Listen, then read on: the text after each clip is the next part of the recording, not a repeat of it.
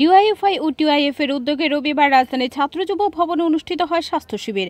এই শিবিরে শিশুরোগ বিশেষজ্ঞ ডাক্তার বিকাশ রায় ও মেডিসিন ডাক্তার ইন্দ্রজিৎ পাল চিকিৎসা করেন। করোনা পরিস্থিতিতে শিশুদের কথা বিশেষভাবে মাথায় রেখে এই উদ্যোগ নেওয়া হয়েছে বাম যুব সংগঠনের পক্ষ থেকে। লকডাউনের পরিস্থিতিতে চিকিৎসা ব্যবস্থা কিছুটা ব্যাহত হয়েছে। এ জায়গায় ধরনের উদ্যোগ শিশু ও অন্যান্য বয়সের মানুষের সহায়ক হবে বলে জানান ডিএমপির কেন্দ্রীয় কমিটির সভাপতি জিতেন্দ্র চৌধুরী। এদিন চিকিৎসা পরিষেবার পাশাপাশি কিছু ওষুধ বিনামূল্যে তুলে দেওয়া হয়। চিকিৎসা পরিষেবা নিতে আসা সাধারণ মানুষের হাতে।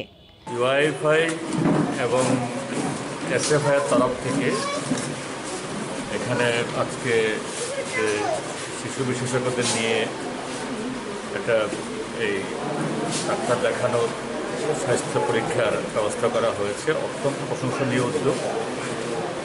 আমি আয়োজকদেরকেও ধন্যবাদ জানাচ্ছি এবং যে ডাক্তারবাবু এখন দেখছেন, তাকেও ধন্যবাদ জানাচ্ছি। এইভাবে এই সময়েতে এই লকডাউনজনিত পরিস্থিতিতে সাধারণভাবে যে চিকিৎসা ব্যবস্থা, এটাও একটু প্রতিহত হয়েছে। এই জায়গায় যে উদ্যোগ গ্রহণ করা, এটা দারুণভাবে শিশুদের এবং অন্যান্য বয়সের এরকম ডাক্তার যদি আসলে হয়তো তারাও আসতেন সুবিধা হবে।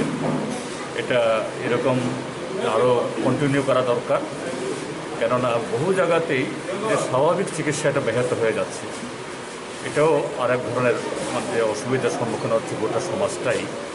কাজে এই উদ্যোগ নেওয়ার জন্য আমি ধন্যবাদ জানাচ্ছি। Bureau report Tripura twenty four into seven.